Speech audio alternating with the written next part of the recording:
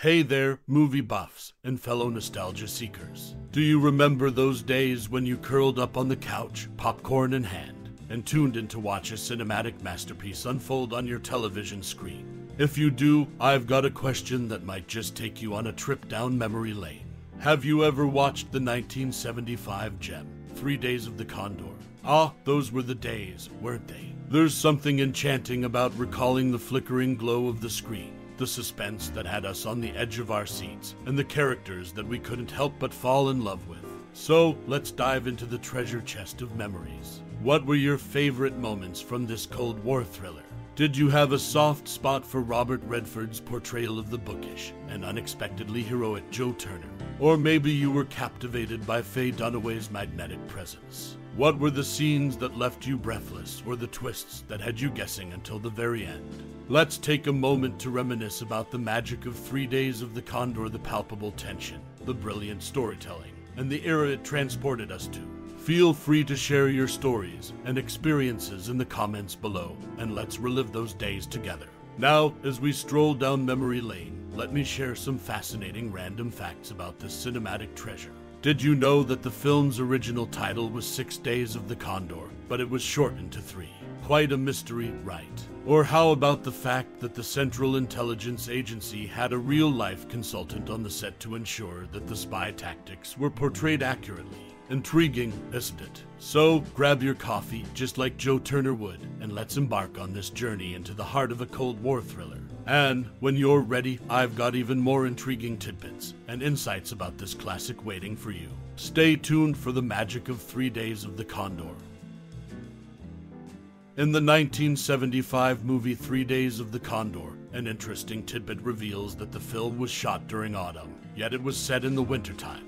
To achieve this wintry look, the streets where the movie was being filmed required some adjustments. Saplings had to be defoliated, and leaves were removed from the trees. Notably, Robert Redford, who starred in the film and was known for his environmental advocacy, personally supervised the process to ensure no harm was done to the plant life. This attention to detail in creating the wintry atmosphere speaks to Redford's commitment to the film's authenticity and his concern for the environment. Despite being shot in a different season, the movie successfully captured the cold and bleak atmosphere that is an integral part of its suspenseful narrative.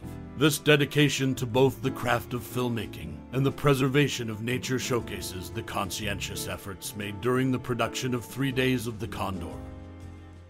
The 1975 movie Three Days of the Condor is a classic in the political thriller genre, starring Robert Redford and Faye Dunaway. While Faye Dunaway may have initially found the idea of being kidnapped and ravaged by Robert Redford less frightening, a behind the scenes incident left her genuinely terrified. During a scene when Redford was temporarily offset, director Sydney Pollack stepped in to act opposite Dunaway. As the cameras rolled, Pollack, in character, advanced menacingly towards her, detailing disturbing threats. Dunaway, tied up for the scene, was unable to escape, and Pollack's intense performance left her genuinely scared. The camera kept rolling, capturing a genuinely frightened reaction from Dunaway, demonstrating Pollack's skills as both a director and an actor. Furthermore, the film features an interesting real world connection. In the movie, Higgins' CIA office is located at the World Trade Center. In reality, the CIA maintained a covert station at 7 World Trade Center, which became public knowledge after the 9 11 terrorist attacks. This station was disguised behind the facade of another government organization and served as a base for espionage on foreign diplomats at the United Nations building. It also functioned as a debriefing site for American business executives returning from overseas trips. The station was destroyed during the 9 11 attack, and a specialized team of CIA agents handled the cleanup to recover sensitive materials that might have survived the building's destruction. Lastly, it's noteworthy that nearly all the leading actors in Three Days of the Condor have received Oscars for their performances in other films. Robert Redford won an Oscar for Ordinary People, Faye Dunaway for Network, Cliff Robertson for Charly, and John Houseman for The Paper Chase. Redford's awards include not only acting, but also directing, and an honorary award. The only exception is Max von Sydow, who, despite being nominated twice, did not win an Oscar for his acting roles. However, he won the Best Supporting Actor award from the Kansas City Film Critics for his performance in Three Days of the Condor. In conclusion, Three Days of the Condor is not only a gripping thriller, but also a film with intriguing behind the scenes anecdotes and real world connections. Its cast, despite their significant talents, had different paths to Oscar recognition. The movie's blend of suspense and real life elements continues to make it a compelling watch for audiences. The making of Three Days of the Condor, a spy thriller's real world impact in the fall of 1974. The classic espionage thriller Three Days of the Condor came to life on the streets of New York City. Directed by Sydney Pollack and starring Robert Redford, this film would go on to influence the world of intelligence agencies in ways unexpected. James Grady, in the anniversary edition of his book Six Days of the Condor, reveals a fascinating tidbit about the movie's impact. The plot, involving a low profile CIA office dedicated to reading books for hidden messages, sparked the interest of real world spies. First, the KGB assumed that the United States already had such research offices, and then, when they realized it worked, the CIA decided to give it a shot as well. This cinematic fantasy became a real world inspiration for espionage operations. While the movie's influence on intelligence agencies is intriguing, some locations from the film have remained unchanged. A Lexington candy shop, where Redford's character Turner went to pick up lunch for the office, still stands at 1226 Lexington Avenue, between 82nd and 83rd Streets. It's a testament to the enduring charm of this classic movie. Three Days of the Condor may be a product of the 1970s, but its impact reverberated through the corridors of espionage for years to come. Whether it's inspiring real world intelligence agencies or preserving a little piece of New York City, this spy thriller remains a significant part of film history. The evolution of Three Days of the Condor, Sydney Pollack takes the helm in the making of the 1975 movie Three Days of the Condor. A significant shift occurred when it came to the director. Originally, Peter Yates was signed on to direct the film, with Dino De Laurentiis planning for Warren Beatty to star in the lead role. However, things took a turn when Robert Redford was brought into the picture. Redford, who was set to play the protagonist, preferred to work with Sydney Pollack as the director. As a result, Dino De Laurentiis made a notable decision.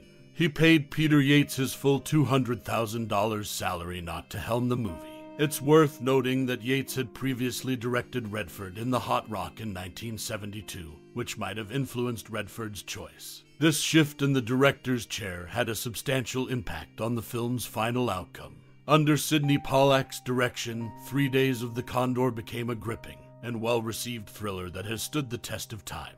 The movie, based on James Grady's novel Six Days of the Condor, tells the story of a CIA researcher, Joe Turner, who finds himself on the run from his own agency after stumbling upon a dark conspiracy. Sydney Pollack's direction, combined with Robert Redford's strong performance, contributed to the film's critical and commercial success. The film remains a classic in the thriller genre and is known for its suspenseful plot, memorable characters, and thought provoking themes. In conclusion, the decision to bring in Sydney Pollack as the director of Three Days of the Condor was a pivotal moment in the film's production. It ultimately shaped the movie into the iconic thriller we know today, with Robert Redford at the helm of a gripping narrative. This change exemplifies the intricate decision making process that goes into the creation of a memorable film. As we draw the curtains on this cinematic journey through the enigmatic world of Three Days of the Condor, I encourage you to let the echoes of this timeless masterpiece resonate within your mind. This 1975 thriller has gifted us with indelible moments of suspense, betrayal, and intrigue, leaving an indelible mark on the annals of film history. Perhaps it's the brilliant portrayal of Robert Redford, the undercurrents of political conspiracy, or the tension fueled cat and mouse chase that has captured your imagination. This is a film that, despite its age, remains eerily relevant, prompting us to question the very nature of power, secrecy, and the sacrifices made in the name of national security. So, what's your story? Have you ever found yourself in a labyrinth of secrets, much like our protagonist, Joseph Turner? Or have you marveled at the way this film unveils the shades of gray in a world often perceived in black and white? We invite you to share your cherished memories, profound reflections, or even your own interpretations of Three Days of the Condor. In doing so, you become a part of the enduring legacy of this cinematic gem, joining a community of fellow enthusiasts who appreciate the depth and brilliance of this classic. After all, it's through our collective discussions and shared insights that we can keep the spirit of this film alive for generations to come. Thank you for your time and interest in exploring the captivating world of Three Days of the Condor with us. Your unique perspective adds to the rich tapestry of film appreciation. Until we meet again in another cinematic adventure, keep the magic of storytelling alive. Remember, this outro was crafted with passion, just for you.